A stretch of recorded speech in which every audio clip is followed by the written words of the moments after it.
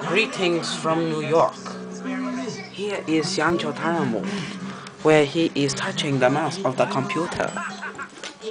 There he is. Fuck, it's blurry again.